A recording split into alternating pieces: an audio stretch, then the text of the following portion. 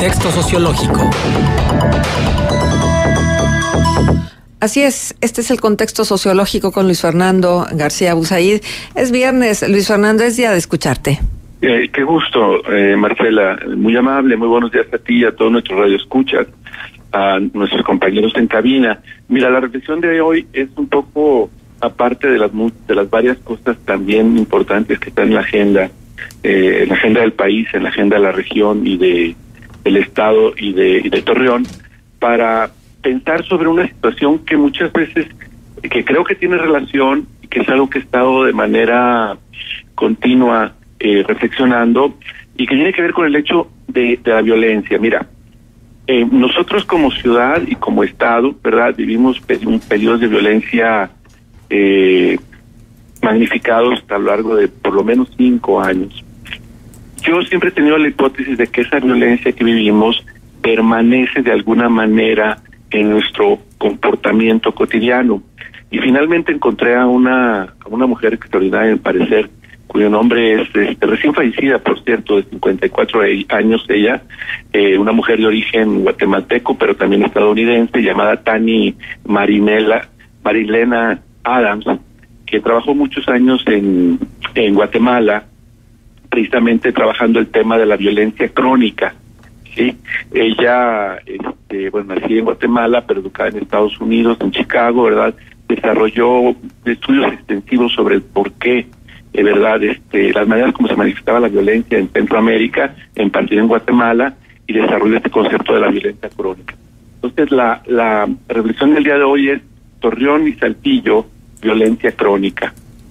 Dice, el antecedente, de 2005 a 2011 se registraron 1.811 homicidios dolosos y 141 averiguaciones previas por secuestro o privación ilegal de la libertad en Coahuila.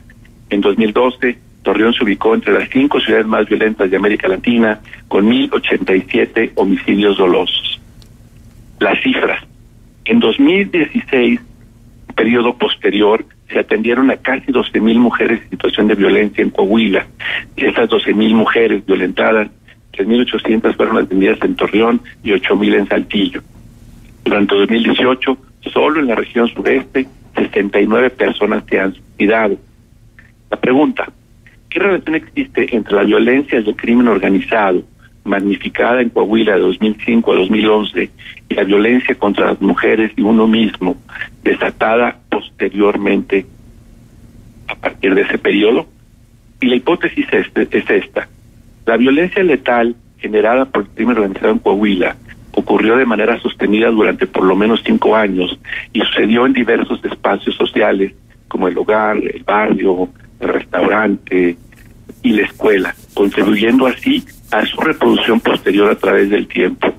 Una vez acotada esta violencia letal ligada al crimen organizado, empezó a brotar su secuela silenciosa pero también mortal, la violencia crónica, la cual tiene cinco características. Una vez que se ha pasado por un periodo de tanta violencia, el trauma vivido por familias y personas se instala como realidad rutinaria, introduciendo destrucción a nivel físico, social y también político. Dicha destrucción se autorreplica en el tiempo a través de la reactivación del trauma. Número dos, el estrés constante de los padres de familia vivido en condiciones de miedo crónico, sobre todo en situaciones de marginalidad social y económica, destruye su capacidad neurológica para mantener empatía por, sus hijos y hace que los vean de manera deshumanizada, grado de que motivan y naturalizan actos de violencia hacia ellos. Esta violencia crónica también provoca fenómenos destructivos como son el silencio, la desconfianza y el aislamiento, con la tendencia de apaciguar los miedos a través de la búsqueda de chivos expiatorios, buscando culpar a otros de lo que nos sucede a nosotros. Número cuatro, esta violencia crónica también destruye, limita, acota, reduce las prácticas ciudadanas y las perspectivas para la democracia.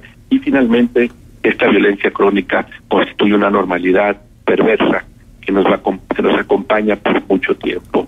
Hasta aquí la reflexión, Marcela. Pues qué importante eh, que nos haga reflexionar sobre esto, porque sí, una vez que se instala la violencia ya la percibimos como parte de nuestra cotidianidad. Ya ni siquiera cuestionamos si es, eh, si es normal o, o, pertenece a una eh, transformación social indeseable, por supuesto. Y entonces nos acostumbramos a, a, vivir, y sobre todo en ciertos polígonos de violencia extrema, con violencia afuera en las calles, que se mete a las casas. Yo no sé si fue primero la violencia que se vivía en las casas y luego la violencia afuera o la violencia afuera y luego se mete a las casas. No estoy muy segura, Luis Fernando. Es, un fenómeno sociológico que a ti te, te, seguramente tienes más explicaciones al respecto.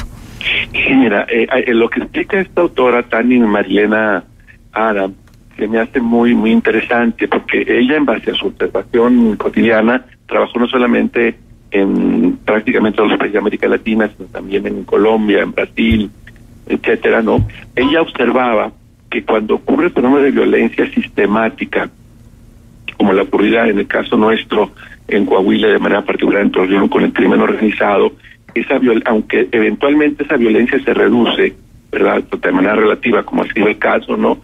Esta deja una secuela que como consecuencia hace que se continúe replicando en el tiempo. De ahí un poco la hipótesis, porque no es una, no tengo ninguna investigación para probarlo, de que esa violencia que vivimos se repercuta de manera importante en la violencia contra las mujeres de manera particular y contra uno mismo. Eh, como lo decía, simplemente en la región sureste ya van 79 personas que se han suicidado eh, del mes de enero a agosto y en Torreón, aunque los números no son tan eh, importantes, también ha habido un número significativo de personas que se han suicidado. Entonces, esa violencia contra las mujeres y contra uno mismo es un poco, eh, de manera hipotética, lo estoy diciendo, ¿verdad? El resultado de esa violencia tan tan brutal que vivimos durante más de cinco años en Coahuila, de manera particular en Torreón, ¿no? Entonces, sí creo que es importante estudiar esa esa parte, ¿no? Porque son como las olas que siguen reverberando, ¿no?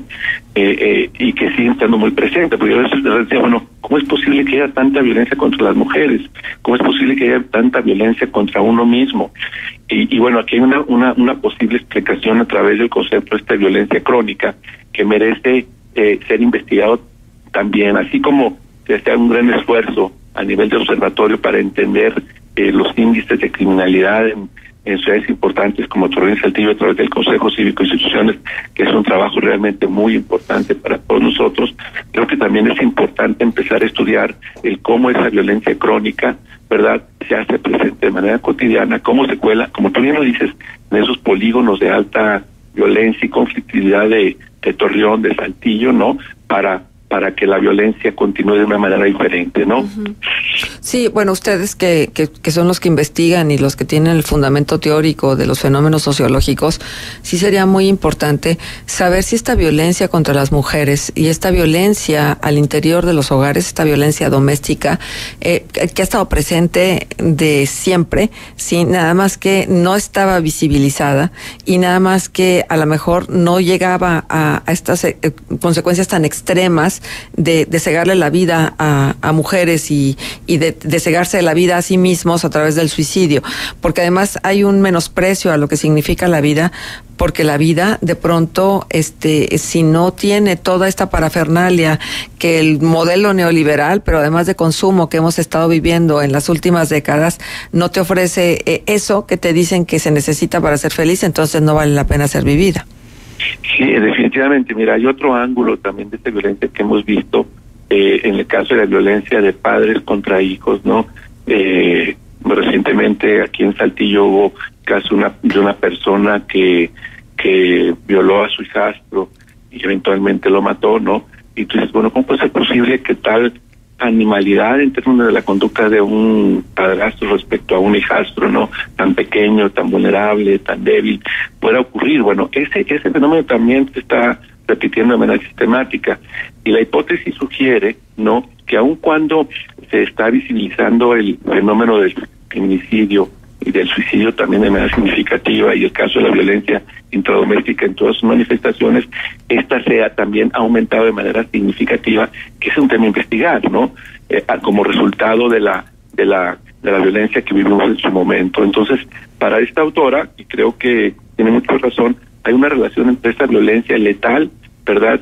Eh, establecida por la eh, por esa por el crimen organizado, la lucha contra el crimen organizado y esta violencia crónica como secuela de la misma, ¿no? Y sí creo, insisto, ¿verdad? Que es importante investigar eh, estas vinculaciones que, que existen a mi parecer, ¿no? Y que definen feminicidios, suicidios, violencia intrafamiliar, ¿verdad? Este, porque es un ángulo, digamos, que hemos estudiado poco, pero que es muy importante, sobre todo para la sanación nuestra como como comunidad, ¿no? Tratar de entender este cómo asumimos esa violencia autodestructiva de manera inconsciente y la llevamos a planos cotidianos de una manera también letal, ¿no? Claro, por supuesto. Nos preguntan, ¿de verdad nos acostumbramos a la violencia?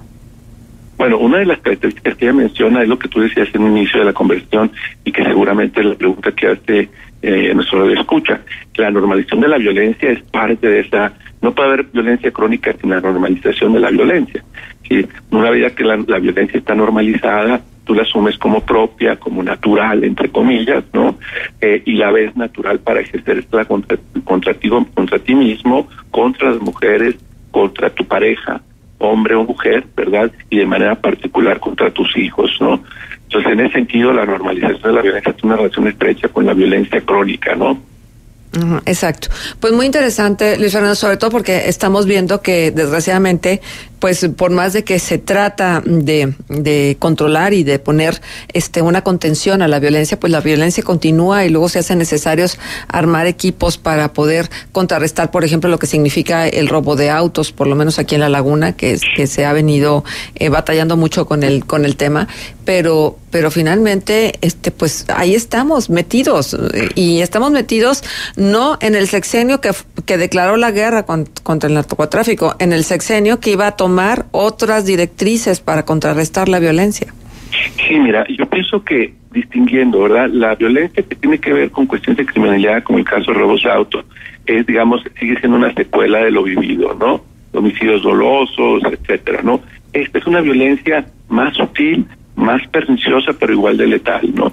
Porque la hacemos nuestra y la vivimos de manera, como tú bien lo dices, natural, ¿verdad? Normal, ¿no? Y con efectos también letales. Eh, es la violencia que se infiltra al, al, dominio doméstico de la familia, de las relaciones interpersonales, eh, y, bueno, y ocurre en la violencia contra uno mismo, contra las mujeres, contra las esposas, esposos, contra los hijos, ¿no? Entonces, hay alternativas eh, que también es importante compartirlas con los escuchas, ¿no? Que la misma autora guatemalteca estadounidense trabajó en Centroamérica y en América Latina a, traer, a través de la creación de observatorios que de manera muy puntual, ¿verdad?, sugerían políticas públicas a los estados para que las aterrizaran y trabajasen en esta otra dimensión de la violencia que es tan importante como la anterior, ¿no? Exacto. Porque esa, como tú bien lo dices, no la hacemos consciente, la normalizamos y la y actuamos como como si fuera digamos normal entre comillas no exacto. Pues Luis Fernando gracias por darnos eh, oportunidad de reflexionar sobre este tema que, que sin duda alguna es importante porque además este pues allá los gobiernos y las decisiones eh, de los altos mandos podrán buscar controlarlo de afuera. Creo que a nosotros nos toca esta parte de adentro esa que que, que, que está ahí como parte de lo cotidiano Exactamente, exactamente. Pues, gracias a ti, este, a nuestros escuchas también, este, nos vemos el próximo viernes si Dios quiere. Sí es, Luis Fernando, muchísimas gracias, feliz fin de semana.